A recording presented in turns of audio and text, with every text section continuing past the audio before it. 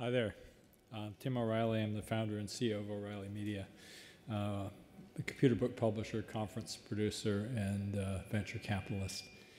Uh, I wanted to talk a little bit about uh, my history with uh, digital books. Um, uh, I too was moved by HyperCard. My company's first online book was actually a, a version of a technical book for HyperCard. Uh, we didn't look back. We started working uh, pretty actively trying to figure out how to get our books online in uh, 1980, from 1987 on. Uh, and interestingly, our quest to build a platform for digital book publishing uh, led us very early to the World Wide Web.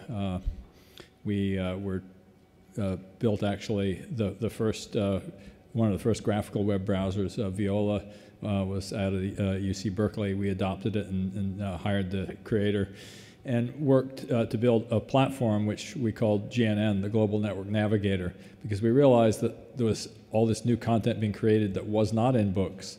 Uh, so we also were the first site on the web uh, to discover the advertising business model.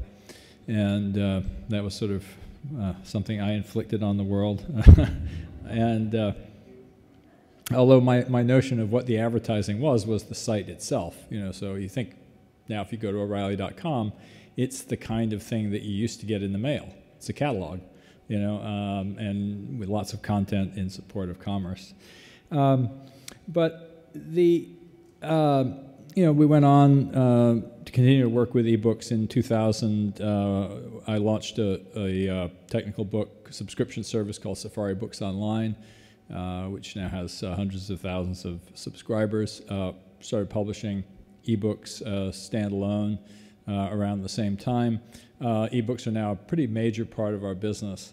And one of the things that probably has distinguished us from most other publishers in that regard is we've insisted from the beginning that our books be DRM free.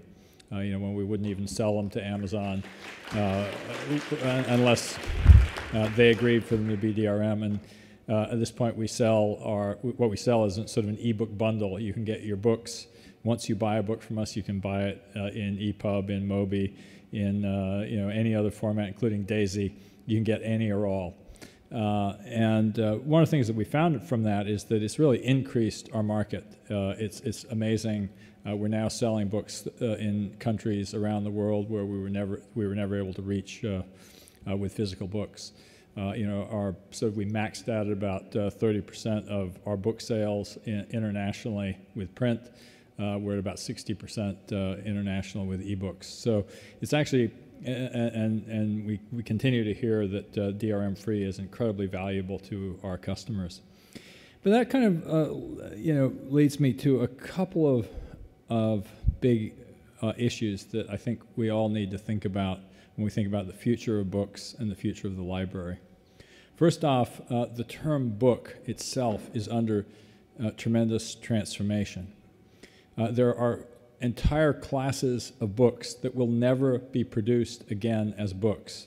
And we don't know how far that's going to go. I mean, what's the need for an atlas or a dictionary as a printed book uh, when you can deliver the same service, the same job for the user so much more effectively with an application? Uh, even fiction, you might think, well, gosh, how can you do that, uh, you know, without that wonderful magic of, you know, immersive reading? But of course, if you think uh, about the job that it does for a reader, uh, there's probably more in common between World of Warcraft and Harry Potter than between Harry Potter and the Encyclopedia Britannica.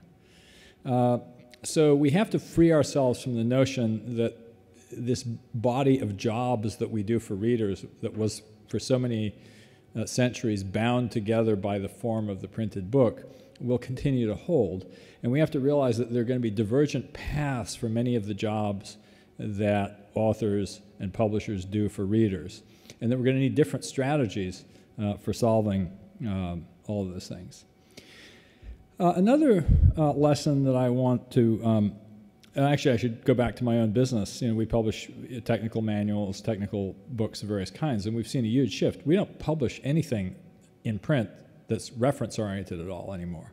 You know, we used to sell tens of thousands of copies a month of certain kinds of reference books, and we don't we we just don't even publish them because the web is just better at reference.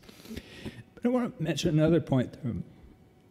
Uh, going back to GNN, that first commercial website from uh, early 1993, there are no copies of it online.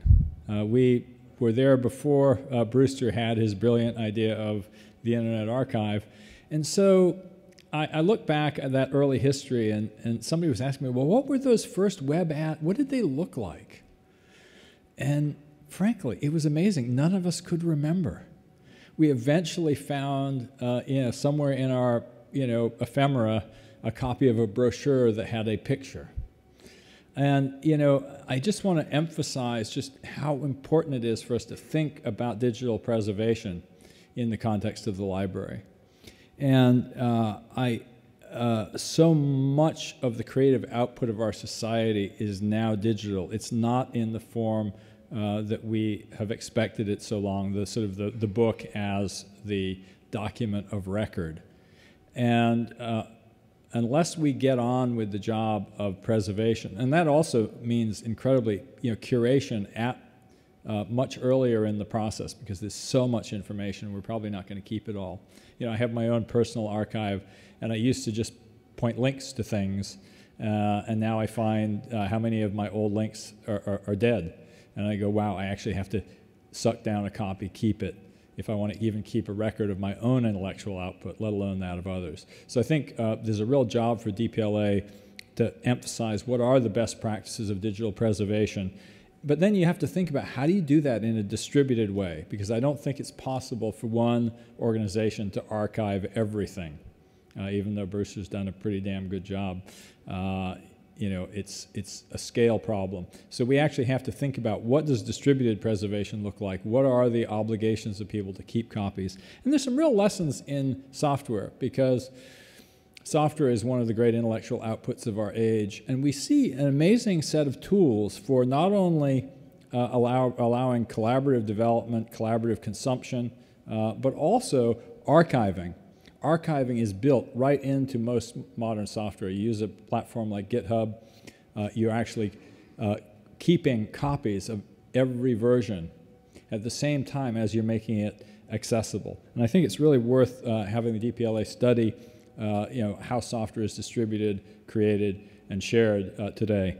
Uh, I also think that it's, it's really critical to think through um, search.